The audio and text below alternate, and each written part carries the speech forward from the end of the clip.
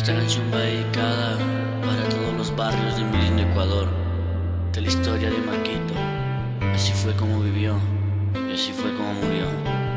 Ecuador donde sea. En el 85 nació Marco Vinicio. Esta es la historia de un muchacho que creció sin el vicio. Su familia era bien pobre y en el 95 su madre emigró. Y la historia empezó poco a poco. El pelado conocía la Con la droga y esa fue su perdición.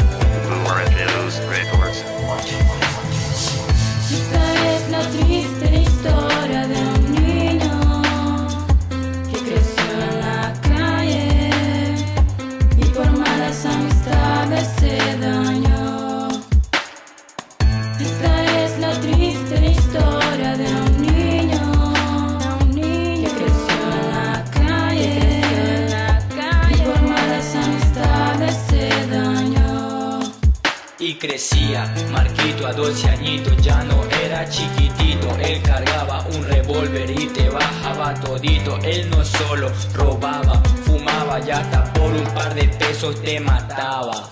Él no jugaba, él andaba con el que comandaba, creciendo desde el barrio, poco a poco se adueñaba, comenzó su vida vendiendo caramelo,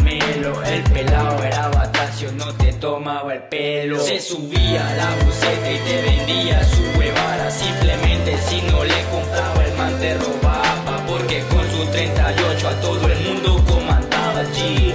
Ah, buenas tardes, damitas y caballeros. Un cordial saludo de parte de quien habla. Hoy he venido a ofrecer un producto que endulzará su vida. Oiga, señor, damita, damita, señor, señor, señor. Muchas gracias, muchas gracias, muchas gracias. Ustedes se preguntarán cuánto le cuesta, cuánto le vale. A un módico precio de 10 centavos que no le empobrece ni le enriquece. Ustedes se preguntarán, ¿por qué le compro este pelado que tira pinta de chorro marihuanero? Solo le digo que ayudará a una familia bien pobre, señor, señor. Señor, no nada, no, no tengo flaco. No, no, compró, se me va mojando con todo porque yo ya me estoy investigando esta huevada. Bájate con todo, chofer, bájate con todo que no me hagas arrecharte, por Dios, que te pego un tiro, de puta. A ver, a ver, a ver, suelta todo, suelta todo, suelta todo, suelta todo. Suelta, oye, suelta todo, suelta todo, que te pego, te lo pego, te lo pego, te lo pego, te lo pego, te lo pego,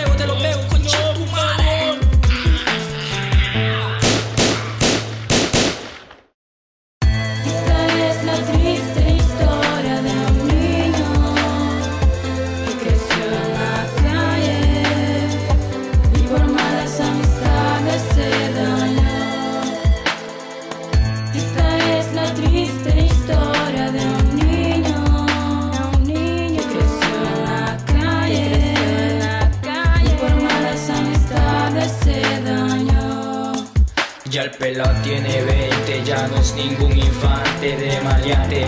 Voló a ser narcotraficante, ya dejó las pandillas, ya dejó el mundo chico. Él vivía en su mundo de droga, plata y mujeres. No esperaba que su mundo pronto se acabaría. ¿Quién diría que Marquito una noche moriría? Él no sabía lo que pasaría, que en la esquina de su propia casa contra él atentarían. Él salió a vacilar y se olvidó su 38 y no pudo reaccionar al ataque del fantasma del pasado que lo había perseguido por más de 8 años sin descanso hasta que lo mató. Ya peló Marquito, ¿Cuál es contigo, care verga? ninguna mariluna. Entonces, ¿qué chucha quieres? Ya vas a ver, Ya veré qué cosa, care verga. te vas a morir, cara de verga. Ya, pues vente de unas. Ah. Guarda esa huevada ya, ¿Se acuerda cuando mataste hace 8 años? No, loco, yo no me acuerdo nada. ¿Cuál es esa huevada? Ah, pero el que mataste, no, no loco, acuerdo. no. ¿Cuál es esa puta. Scrappy MC. Esta es la triste historia de un niño. Creció en la calle. Ecuador.